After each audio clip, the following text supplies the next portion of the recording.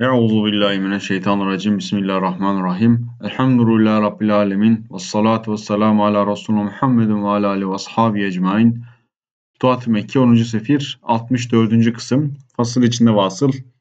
Temettü haccı. Temettü yapanlar iki kısma ayrılır. Temettü haccı veya ifrat haccı.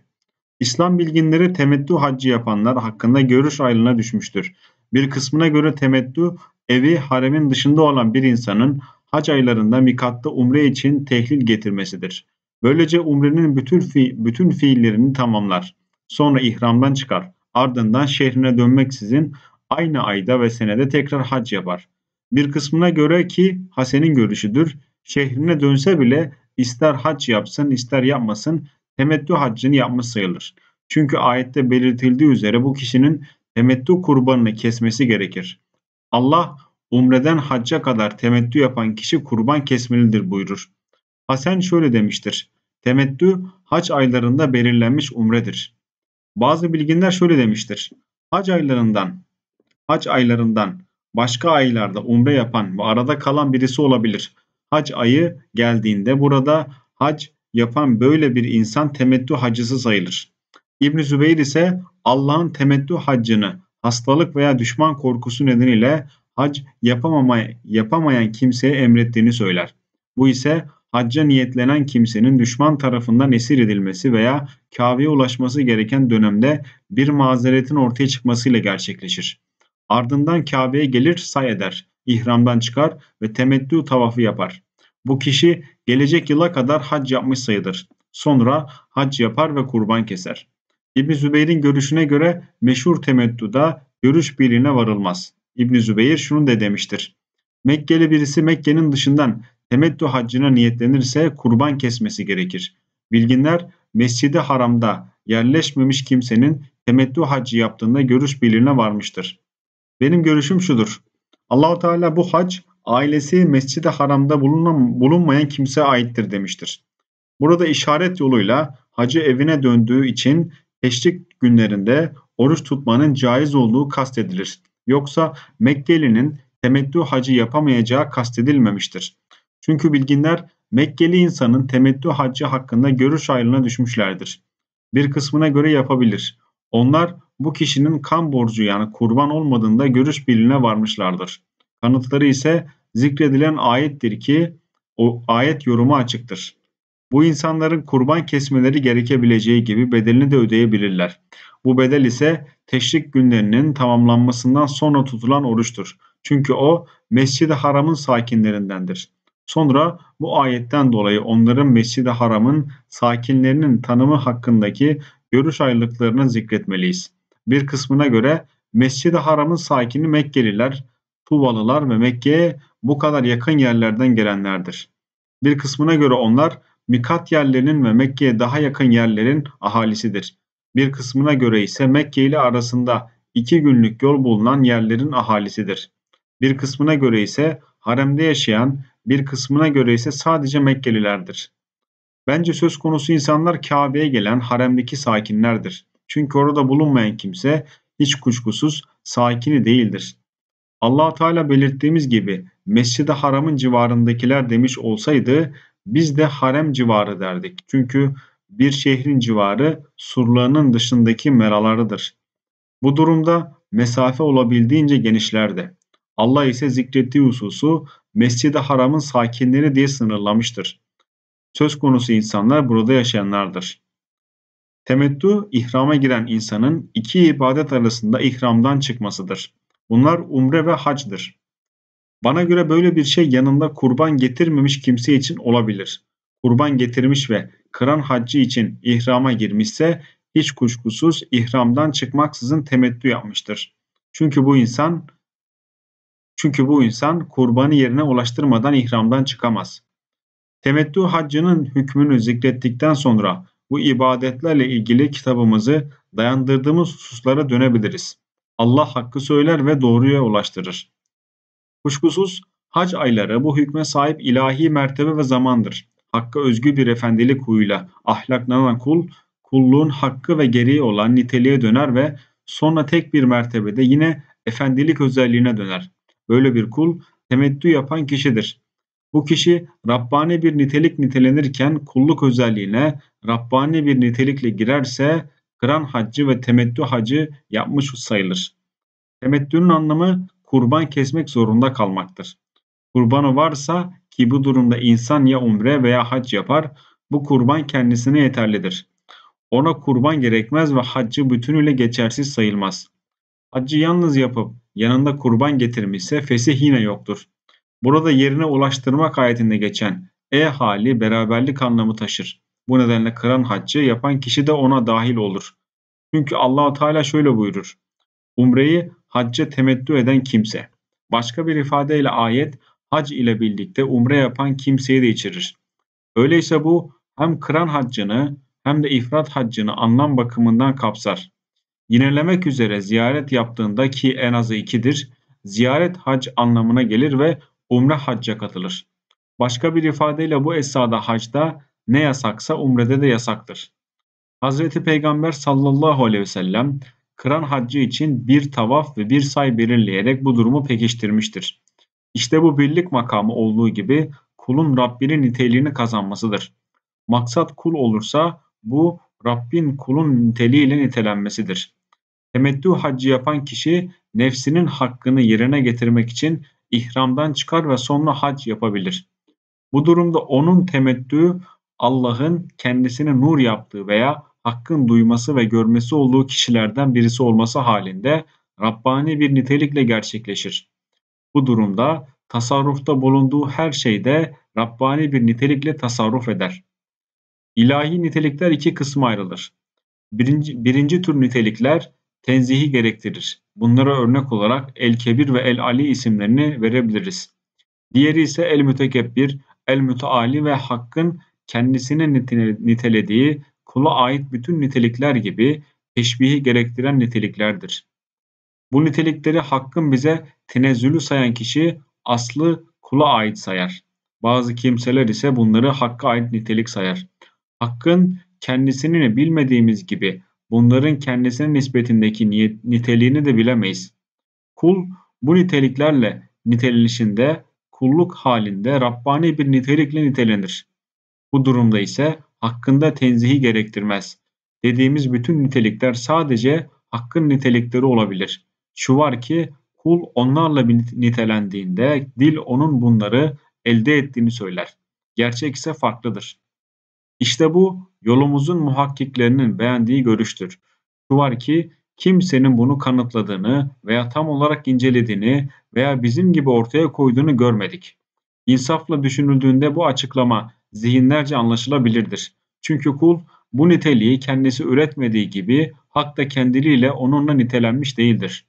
Hak, peygamberlerin bildirdiği ve velilerine gösterdiği gibi kendisini bu nitelikle nitelemiştir. Biz ise bu nitelikleri akli kanıtlarla kendimize ait olarak biliriz. Allah'a ait olarak bilmiyoruz. Şeriatlar onları gerektirdiğinde ki o vardı ve biz yoktuk, bu niteliklerin asıl bakımından Allah'a ait olduğunu öğrendik. Sonra onların hükmü bize kendisinden yayıldı. Bu nitelikler öyleyse gerçekte Allah'a ait iken ödünç olarak bizimdir. Çünkü Allah vardı ve biz yoktuk. Nitelikler hakkındaki gerçek belirttiğimiz tarzda kaynağı açık ve örülebilir bir durumdadır.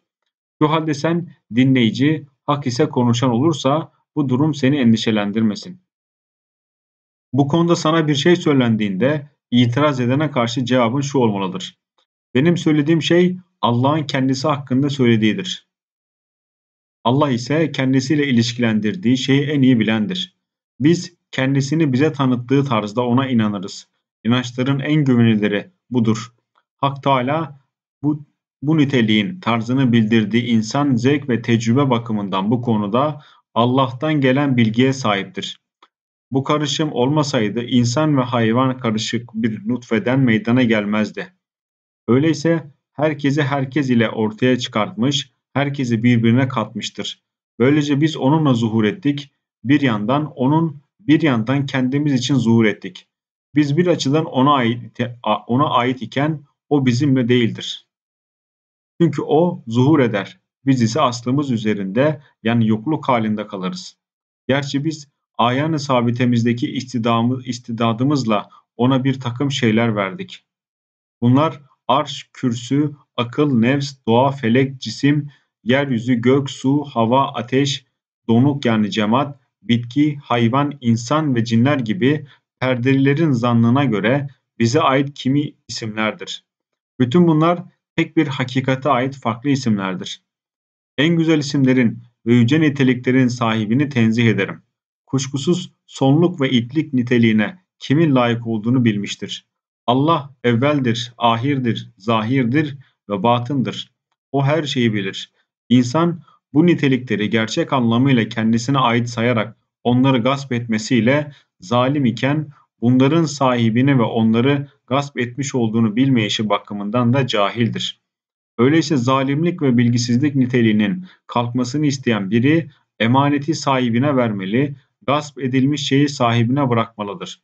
Bu konudaki iş oldukça kolaydır. Genel ise öyle olmadığı halde bunun güç olduğunu zanneder. Asıl içinde vasıl. Fesih. Haccın fesi yani niyet değiştirmek, yanında kurban yokken insanın hacca niyetlenmesidir. Bu nedenle niyetini umreye çevirir, umre yapar ve ihramdan çıkar. Sonra haccını yineler. Bir kısım bilginler bunu caiz olduğunu söylerken bir kısmı bunun zorunlu, bir kısmı ise caiz olmadığını söylemiştir. Ben vacip olduğunu görüşündeyim. Umre küçük hac demektir ve bu nedenle niyetin ona çevrilmesi mümkündür. Nasıl olmasın ki? Onun fiilleri büyük haccı içerir. Büyük haccın tavafı ve sayı umredeki tavaf ve sayı bitişiktir ki bunlar iki esastır. Bu yönüyle küçük hac olan umre büyük hacda bulunur ve tek bir şey haline gelirler. Bu nedenle kurban bulunmadığında fes yani hac niyetinin umreye çevrilmesi caizdir. Çünkü gelen kişinin kurbanı ve hediyesi doğal olarak kendisine geldiği kimseye aittir. Kurban ve hediye getirmediğinde ise ilk niyetiyle ona yönelen kimse yükümlü değildir. Bu durumda temettü hacı yapılır, kurban kesilir ve bu zorunludur. Fakat insan niyet ettiği şeye göre kasıtlı olarak başka bir niyet yapmadıkça kurbanını sunmaz. Hac niyetiyle ihrama girdiğinde ise el kebire yönelmeye niyetlenmiştir demektir. El mütekebbire değil. O küçük hac olan umre konumundadır. Bu durumda temettü haccının gerektirdiği kurbanı keser. Bunu ise ya imkan bulduğunda bir kurban olarak veya bu ziyarete yöneldiği kimse adına oruç tutarak yerine getirir. Oruç onun adına bir kurban sayılır. Çünkü oruç Allah'a aittir ve Allah hacının konuğu olduğu kimsedir. Bu nedenle oruç kurban olmuştur. Çünkü o bunu hak eder. Hatta o kurbandan hakka daha layık bir hediyedir. Çünkü kurbandan Allah'a ulaşan şey kurban kesenin takva duygusudur. Orucun ise bütünü Allah'a aittir. Öyleyse oruç kurban sayılmada daha önceliklidir. Allah orucu kurban bulamayan kimse için belirlemiştir. Kurbandan hakka ulaşan şey takva duygusu olduğu gibi kula ulaşan şey de kula ulaşan şey de sayesinde beslenmesini ve bedenini ayakta tutmayı sağlayan şeylerdir. Bu durumda Allah kulun yararını gözetirken bu kurbanda kendisine ait şeyi takva saymıştır. Kurban bulamazsa Allah kuluna merhamet eder ve oruç tutmasını vacip kılar. Çünkü oruç Allah'a aittir. Oruçtan başka bir şey ise vacip kılmamıştır. Çünkü kulun amellerinden Allah'a ait olanı oruçtur. Böylelikle Allah orucu kurban yerine koymuş, hatta oruç ondan üstün olmuştur. İnsan hacdayken kurban yerine geçecek orucu Allah'ın kuluna bir merhameti olarak üç gün tutar ve böylelikle Allah'a bir şey getirmiş olur. Bu gelişte Rabbine sunduğu hediye ile gelen kişi sevinir. İşte bu bir bakıma Allah'ın kuluna şefkatidir. Yedi günü ise ailesinin yanına döndüğü vakti ertelemiştir. Ailesine dönünce Allah bu yedi günü kulundan alır. Çünkü dönüşünde de kul Allah'a döner. Allah her nerede bulunursa bulunsunlar ailesiyle beraberdir. Hacı ailesiyle beraberken Allah'ı onlarla birlikte bulur. Bu durumda yedi gün daha kurban niyetiyle oruç tutar. Allah da ailesiyle veya her neredeyse bu orucu kurban olarak kendisinden kabul eder. Çünkü Allah her neredeyseler onlarla beraberdir. Nispetler değişse bile hakikatine tek olduğunu gören kimse fesih bulunsa bile ortada bir fesih olmadığını düşünür. Buna örnek olarak attığında sen atmadın ayetini verebiliriz. Burada Allah olumsuzlamış sonra olumlamıştır. Aynı şey burada da geçerlidir. Sen niyetini değiştirdiğinde onu değiştiren sen değilsin. Nefsinde özel olarak haccı müşahede eden kimse için küçük veya büyük hac helal olmamıştır. Dolayısıyla niyeti çevirmek ve değiştirmek söz konusu değildir. Bu durumda insan ilk niyeti üzerinde kalır. Çünkü Allah haccı tamamlayınız buyururdu. buyurdu. Öyleyse kul neyi görüyorsa ona göre hareket eder. Birincisi yani niyet değiştirmeyi dile getirip ondan uzak duran kişinin davranışı daha yetkindir. Dolayısıyla kul bu durumda niyet değiştiren yani değiştirmeyendir. Vasıl, temettü haccına ilave. İslam bilginleri hac aylarının dışında umre yapan, sonra da hac yapan kişi hakkında görüş ayrına düşmüştür. Bir kısmı böyle bir insanın umresinin ihramdan çıktığı ay olduğunu söylemiştir. Dolayısıyla bu kişi o ayda temettü yapar.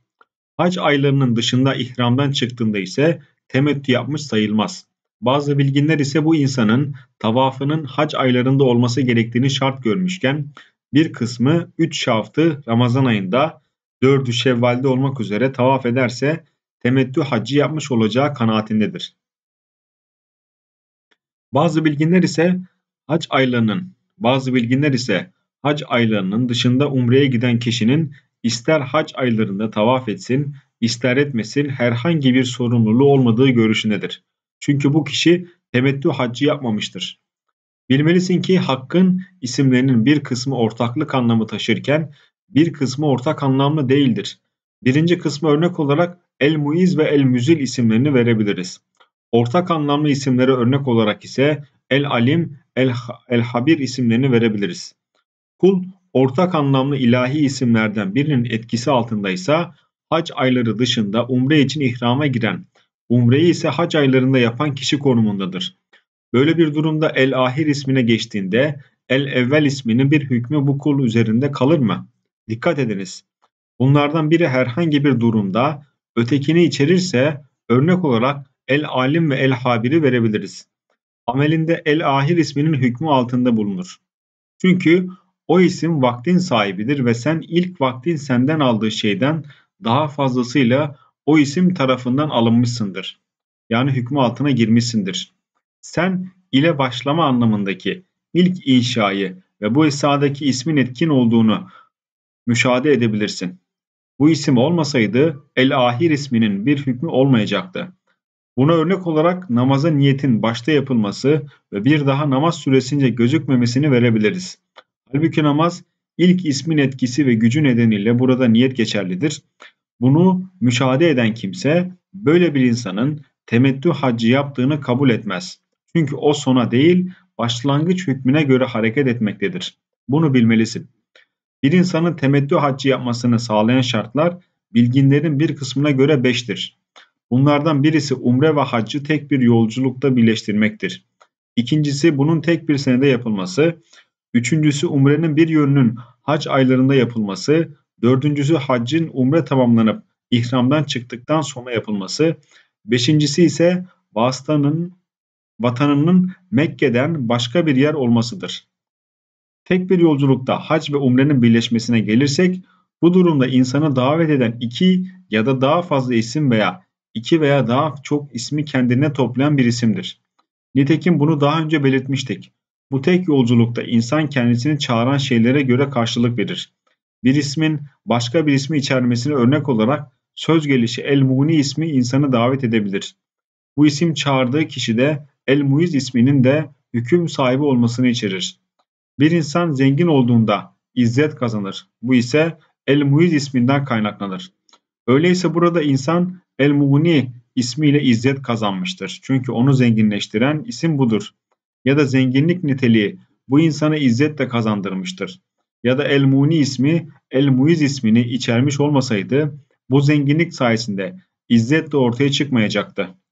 İkinci şart olan tek yıla gelirsek yıl zamanın kemalidir. Bir yıl bütün mevsimleri içerir, zamanın kemali ise dehrin sayesinde kemale erdiği ebediliğin ortaya çıkmasıdır. Çünkü ezel ilk oluşun, ebedilik ise sonluğun olumsuzlanmasıdır. Şu halde iki uç kalmamıştır. Dolayısıyla tek bir dehir vardır.